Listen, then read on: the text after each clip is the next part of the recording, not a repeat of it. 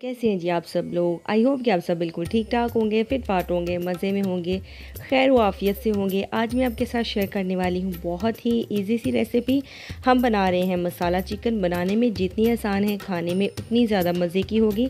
तो मसाला चिकन बनाने के लिए ज़रूरत होगी हमें एक से डेढ़ कप घी की। तो घी जब गर्म हो जाए, इसके अंदर हम शामिल कर देंगे। इसके अंदर डाल देंगे प्याज, दो लार्ज साइज़ की स्लाइस की हुई। आप इसका पेस्ट भी बना सकती हैं प्याज़ों का। लेकिन मैंने लार्ज साइज़ की जो प्याज थी, उसको स्लाइस में काट के तो वो फ्राई करने के लिए डाल दी है घी में। इसके अलावा हमें ज़रूरत होगी तीन अदर टमाटर की, सब्ज़ मिर्चें और लहसुन अदरक। लहसुन अदरक को पीस लें, कूट लें। बाकी जो टमाटर, सब्ज़ मिर्चें, अगर आप चाहें तो आप इसका भी पेस्ट बना लें। लेकिन मैं काट के दोनों चीज़ें शामिल करूँगी।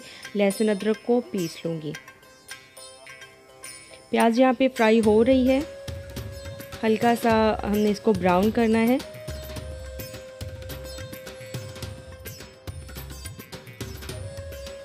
प्याज फ्राई हो चुकी है, इसके अंदर हम डाल देंगे चिकन। एक किलो चिकन है, अच्छे से धो के साफ़ सुथरा करके तकरीबन 10 मिनट तक इसको रख दिया था हमने ताकि जो एक्स्ट्रा पानी है वो इसका निकल जाए और इसको अच्छे से फ्राई करेंगे। कच्चापन जो है वो बिल्कुल ख़त्म करना है।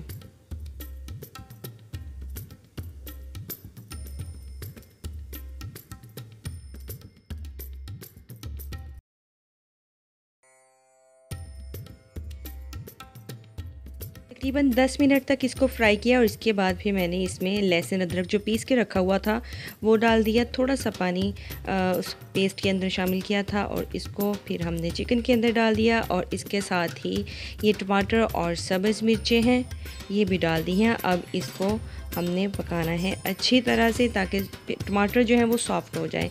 यहाँ पे मसाले नमक सुरख मिर्चें हल्दी और ये थोड़ा सा अचार गोश्त मसाला बस ये इसके अंदर जाएगा। अच्छी तरह से इसको दोबारा से पाँच मिनट के लिए हम फ्राई करेंगे तमाम चीज़ों को।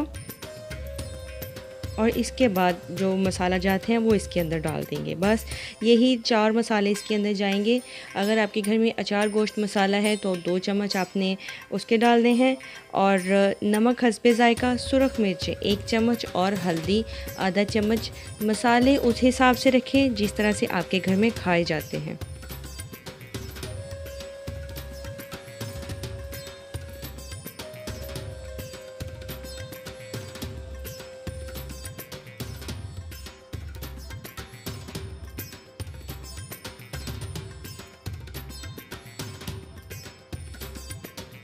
तो पाँच से सात मिनट तक इसकी अच्छी तरह से बुनाई करने के बाद आपका मसाला चिकन जो है वो बिल्कुल तैयार है और आपने इसको फिर ढाँप के रख देना है थोड़ी देर के लिए और बस जब मेहमान आए तो इसको सर्व करें।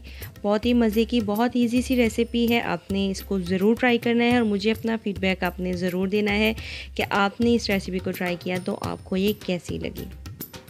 इसको अब हम डिश आउट करते हैं और फिर आपको दिखाती हूँ उसकी फ़ाइनल लुक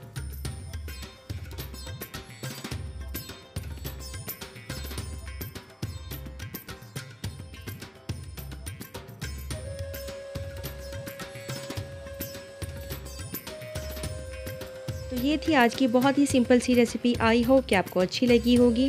मुझे दुआ में याद रखिएगा। रेसिपी अच्छी लगी हो तो आप वीडियो को लाइक और शेयर ज़रूर कीजिएगा और चैनल को सब्सक्राइब करना मत भूलिएगा। फिर आपसे मुलाकात होगी किसी नई वीडियो के साथ। तब तक के लिए इजाज़त दीजिए। अल्लाह हाफ़